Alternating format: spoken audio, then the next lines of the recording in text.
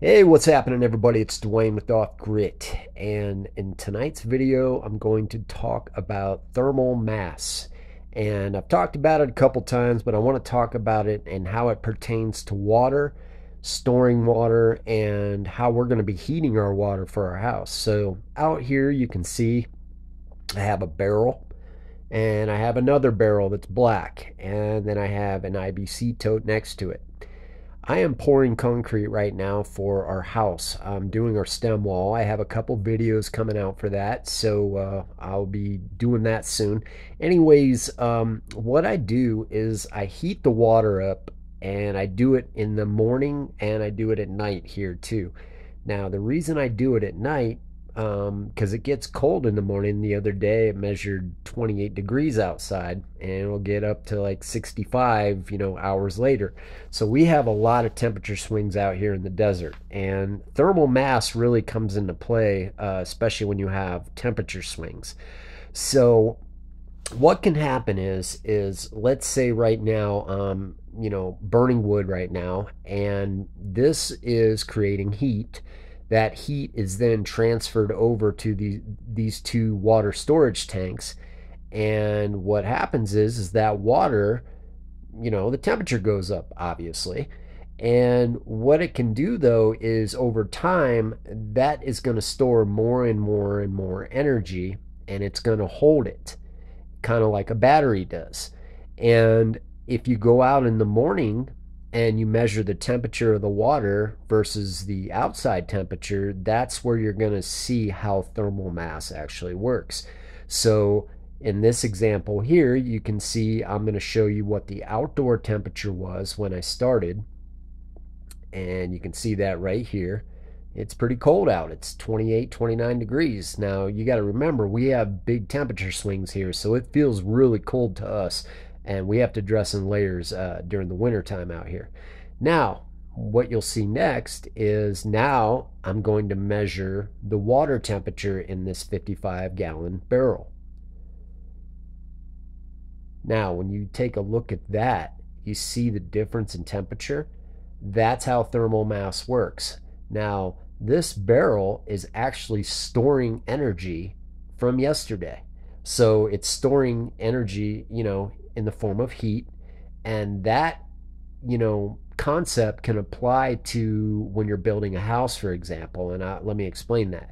So, what we're going to be doing for our hot water for our house is we're going to do like a three step system to heat our water. And the way this works is the first step will be a rooftop solar heater. You've seen them, uh, they have them for pools. You can do it for your house water as well. They work great. That in itself would probably be enough. If I made one big enough, I wouldn't even have to mess with doing anything else. Now, of course, I like redundancy because, you know, I always like to have backups and even a backup to my backup. So here's how it'll work that water will feed from there down into an, a tank. And in that tank, I'm going to have a DC uh, heating element that will be hooked up to solar panels.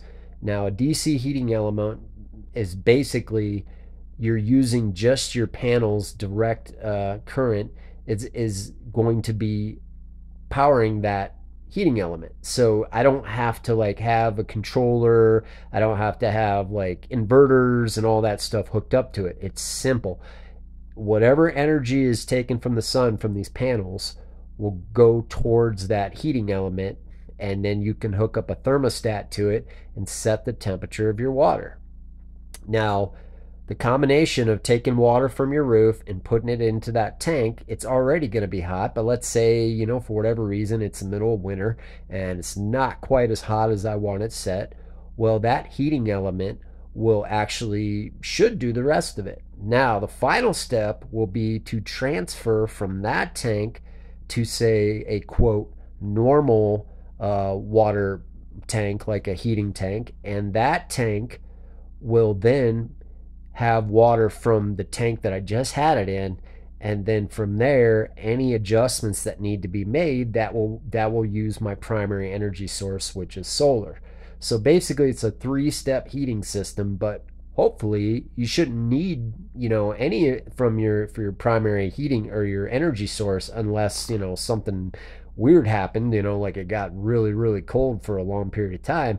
But that's how we plan on doing our water out here and I just wanted to talk to you about that because um, you know I've had people ask questions about the house and stuff like that, and as I go on with the house here, you know things are, are going to evolve, and you'll see all the systems that we have set up. You know this has been years of planning and and thinking about what we're going to do, but um, that's how thermal mass works, folks. If you if you um, you know didn't quite understand or grasp how the thermal mass works the water is a perfect example because it's on the top of the chart with thermal mass because you know it's really good at holding heat. So um, yeah that's that but other than that everything's been going well um, out here too you know i've just been busy um, definitely going to be editing a couple videos this coming week so i'll have a couple videos out uh, I just want to thank all the new subscribers and just let you know that I do appreciate you watching the videos and I appreciate you sharing the videos.